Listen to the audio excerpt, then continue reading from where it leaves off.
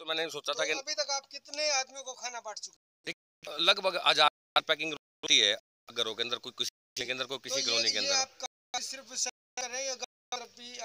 देखिए एक group create कर रखा है। उस ग्रुप के अंदर जहाँ जहाँ से मैसेज मिलता है कि यहाँ की दिक्कत है यहाँ खाने की से तो हमें पता है दिक्कत है। कोई अलग लोगों की तरफ़ फ़ोन आता है कि खाने की आवश्यकता पहुँचाया जाए। कोई आके मदद माँगता है तो उसके लिए आपने कुछ रखा हुआ है? नहीं पर्सनली पका हुआ भोजन की व्यवस्था हमने कर रखी है। बाकी जो है कई अलग संस्थाएँ बांटने हमारी जो संस्था है वो सिर्फ़ पका हुआ भोजन वितरण करने का काम करती है। सोशल सोशल डिस्टेंसिंग की बात करें क्या लोग इसे समझ पा रहे हैं कि सोशल डिस्टेंसिंग देखिए प्रशासन अपनी पूरी कोशिश कर रहा है कि सोशल डिस्टेंसिंग को पूरा वो किया जाए, लेकिन सुबेरे के वक्त मुझे लगता है कि सिर्फ़ थोड़ी दिक्कत आती है सब्ज़ी मंडी के समय, जब सब्ज़ी मंडी में मुझे लगता है कि थोड़ी दिक्कत आ रही है अदरवाइज़ सारा दिन के अंदर तो लगभग डिस्टेंसिंग काम कर रही है, और कोरोना से बचने का उपाय भी यही है।